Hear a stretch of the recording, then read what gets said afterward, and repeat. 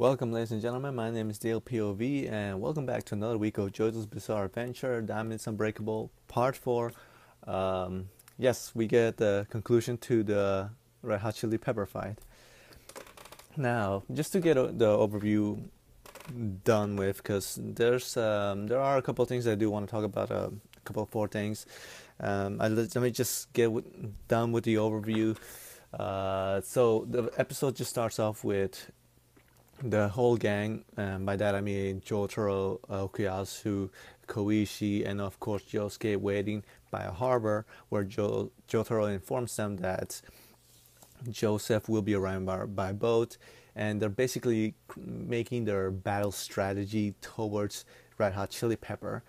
Jotaro, Jotaro tells everyone else that Red Hot, Chili, uh, Red Hot Chili Pepper is there, and that they need to think of a plan. Basically, some some like a pair is gonna go by boat and and visit and just head over to Joseph to make sure that she's safe, um, while he's still on the boat on his boat, in in his boat, excuse me, and the other pair is going to stay by the harbor and they're going to await Red Hot Chili Pepper uh, where they will strike at them.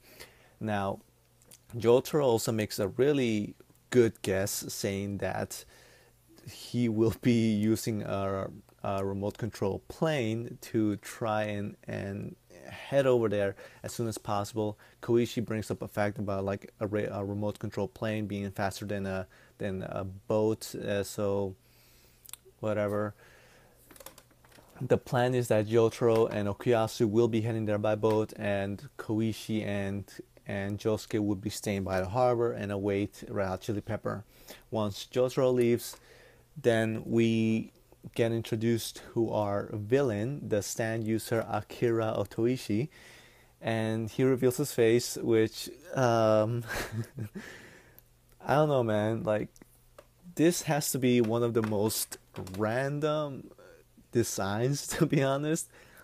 I mean, okay, if we weren't getting that little bit of foreshadowing that Akira is not the main villain, that he's just this big villain for now, then I mean, then it would have been a little bit disappointing, a little bit weird to have him as a final villain. Let's just say that.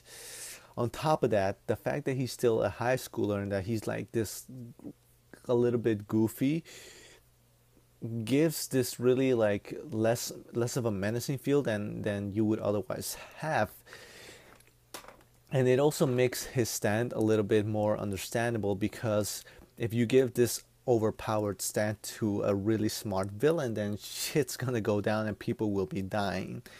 So having just akira having this little bit this mellowed down evil guy is understandable for plot reasons because any any more smarter, any bit stronger, any more any more evil, then he could have been a serious ass issue for Jotaro, for Josuke, for whole morale um, town.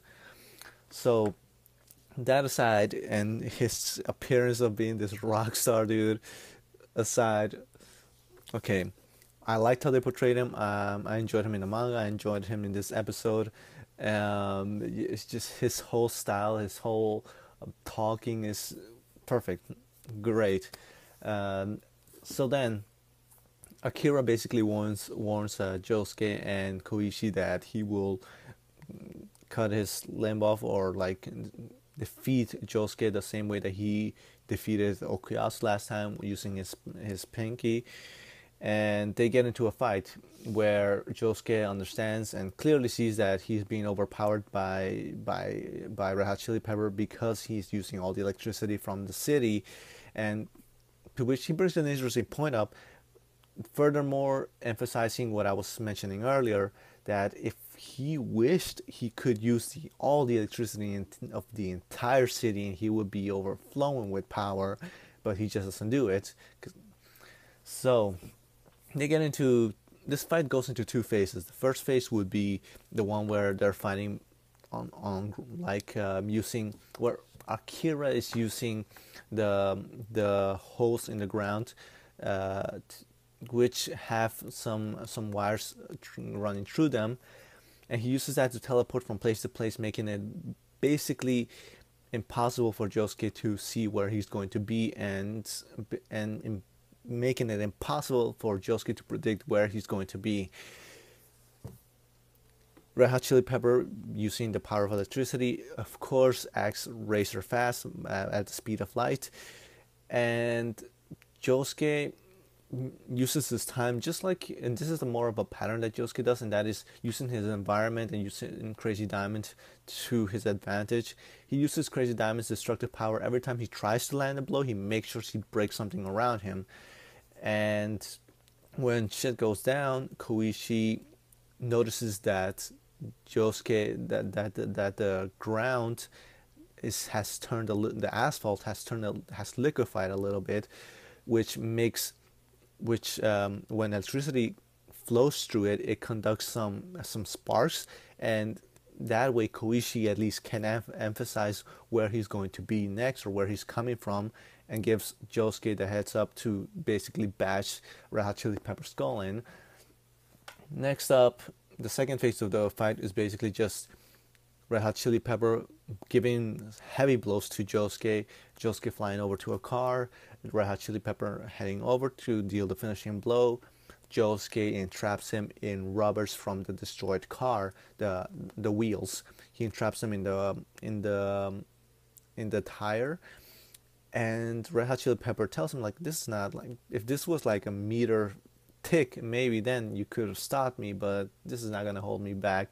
He makes a hole through it, but a tire having air in it, it expands all the air, which in my opinion was a little bit off as well because I understand Crazy Diamond's ability of being able to put things back to the way they were, but does that also in, in like imply that he can put air back where it was in the past? Because I believe you need to fill it with a certain gas in order for like to be in order for the tire to be pumped up. Otherwise, if he makes a hole through it, it's not like all that air that got loose all of a sudden is going to be all of a sudden pressurized in that tire again, right? Which was a little bit off for me. So that basically sends Red Hot Chili Pepper flying to the water. His stand starts breaking apart because water, the, the sea has salt in it, and that uh, helps electricity conduct everywhere in the water, which basically, to put it in simple terms, it tears it tears um, the the whole of the electricity that Red Hot Chili Pepper has, and it spreads it all around the sea. Um, in a way, also tearing Red Hot Chili Pepper apart. Akira is, is stuck there like a statue, to which we switch over to Okuyasu in the boat already, heading over to meet Mr. Joseph Joestar, who is played well. I love him so much him being just like the sweet kind old guy who mishears things and forgets things. Uh, it's gonna be a little bit fun to see him this season, this upcoming season. So really looking forward to that. And they play into something that I absolutely love, and that is Okuyasu, him being a dumbass. But they play it to the point where oh, a, a guy from the Speedwagon Foundation comes in, warns them about, uh, warns Okuyasu about the enemy being on board because Josuke turns around, he finds out that Akira's not there anymore. And Akira, by this time, managed to swim to the boat, which can seem problematic. Like, how the fuck does he get there so fast? But it's worth keeping in mind that that there was a point where they, where Josuke and Koichi completely were convinced that they defeated Red Chili Pepper, that he was not going to do anything anymore and so there was a time span that the boat was also coming towards them. So the distance in a way also shortens and akira didn't have to swim as much. Back to the point. Speedwagon foundation guy is over here. Um, akira is, is over here. Okuyasu in the middle standing next to joseph joestar. Akira is ready to kill joseph. Uh, red hot chili peppers coming right from above him. And Okuyasu not understanding who of the two is going to be who who of the two is a bad guy because he hasn't seen Akira's face before he just luckily beats Akira down to the pulp. And when Akira told, tells him like, "How do you know it was me?" Like uh, Okuyasu said, I was gonna hit you both anyway. Playing really well into his character, putting a little bit of an understandable threat because, like, it's very normal that if, if like, if you are warned about, hey, like, there's this bad asshole coming to you, and um, but they don't tell you how he looks and then all of a sudden you're like in a in like in a in a bank and then like one guy tells you like hey like that asshole's coming to you and then another guy comes to you and, and tells you the same same thing exact same thing. You don't know who's who right? So i love the way they like okuyasu was put in that situation and how it kind of got resolved quickly now we get a little bit of a soft moment between joseph and old man joseph. Basically just uh, uh Joseph's uh, cane breaking and uh, and oh, and and Josuke helping him out, helping him walk, telling him like, "Hey, grab my hand," and Okuyasu like feeling proud, like he like that he thought of something like, "Hey, I know," like he could just use Crazy Dami to fix this cane, and Okuyasu's like, "No, don't don't you understand what's going on? Like they're just having some fatherly time." and that's a little bit this one of the small issues that I had with the episode, and that is just that that little moment felt a little bit forced in there. I know that it was in the manga as well, but I didn't feel like it had enough time to develop like that ah moment, like that oh my god, like look at them together. I didn't feel that it got developed enough or prepared enough to the point where I actually felt something. I um, it felt a little bit flaccid at the moment. Now, there are a couple things that I do want to go into regarding this episode. First of all, Jotaro being the Deus Ex Machina. I repeat myself so many times, and I will say it every friggin' episode that it happens because it's a little bit bothersome. After, even even after reading the manga, like it's still a little bit bothersome. It's just the fact that he, Jotaro could basically be solving a lot of problems. So, the plan was to have Jotaro and Okuyasu go to the boat and have Josuke and Koichi stay on shore. Now, what's an issue here? The issue is that Jotaro has a time stop ability, and if he really wanted to stop Red Hot Chili Pepper, he could have been the one to stay on the shore with Koichi and have Josuke and Okuyasu go by boat to the to the boat to meet Joseph and he could have easily given them a picture of Joseph to know like this is the old guy I'm talking about. So when Red Hot Chili Pepper shows up, and and Koichi like notices him or some shit like that, then Jotaro could have stopped him, like time stop and straight up beat his ass. Maybe Red Hot Chili Pepper is stronger, but at the same time, all he really needs to do is choke him by the neck or and make him not stop him from moving. That's all he needs to do. That's one of the issues that I had. Second issue um, would have been Koichi yelling the yelling the entire time during the Josuke fight, like him just. I don't know. It's it's an issue that I have with with anime girls um, in anime like in anime like uh, weaklings in general. And that is that small guy or that weak guy or the weak girl who yells like oh no like i cannot believe it. Like you cannot see him. Like we cannot anticipate his movement. Like shut the fuck up. Shut the fuck up and and focus i understand it's made to give the person dialogue to create suspension but after a while it becomes it becomes a little bit irritating. That's my issue with the Koichi was a little bit frustrating this episode. Just the entire yelling during that fight. Like, bitch, I can see what's going on. You don't have to tell me. In the manga, maybe it was a little bit unclear. and Maybe we need a little, we need a little bit more clarification. But I, here it didn't work out too well. Now, another issue that I've had was the whole reasoning for Joseph coming to meet up with them. The original reason was because Joseph has a purple hermit, so he can he could have identified the stand user, but we know who the stand user is. Eventually, Joseph may become relevant like as you can as this is no spoiler but you we've been getting foreshadowed that there is another villain in the series and he may come in handy to to bring that villain out.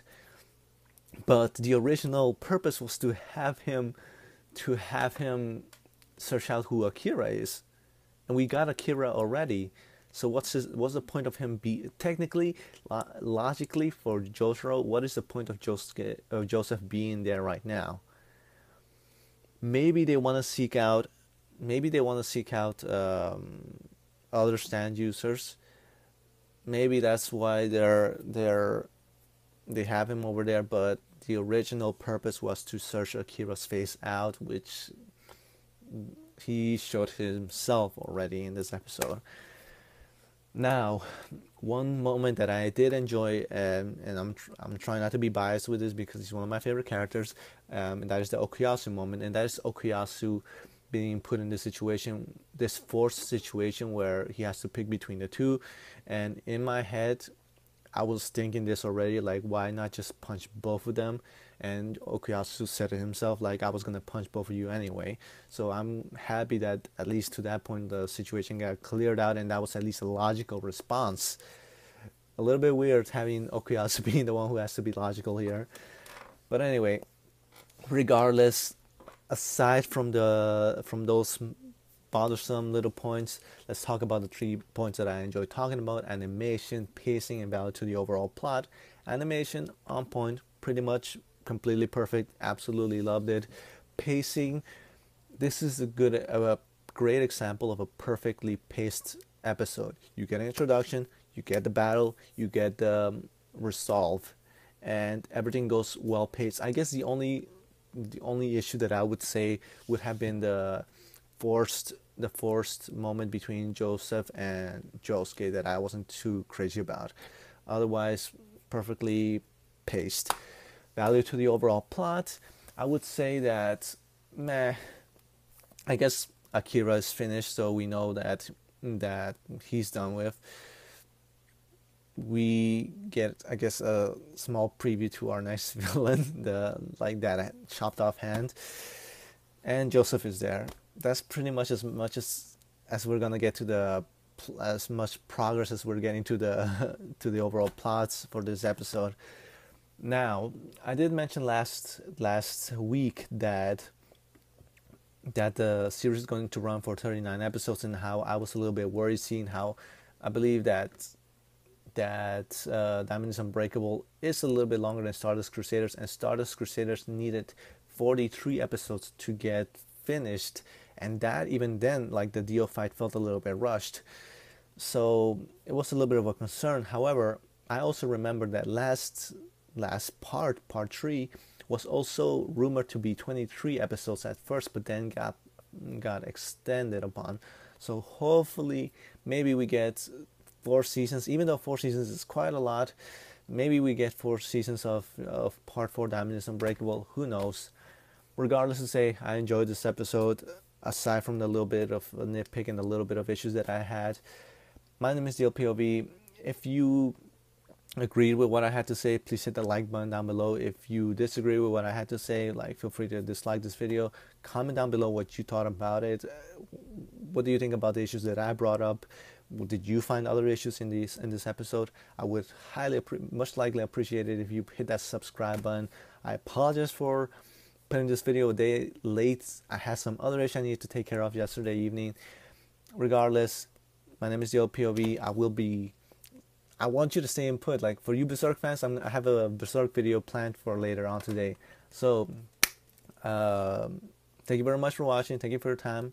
Enjoy your weekend. And I'll see you guys next week for the last episode of this season. Goodbye.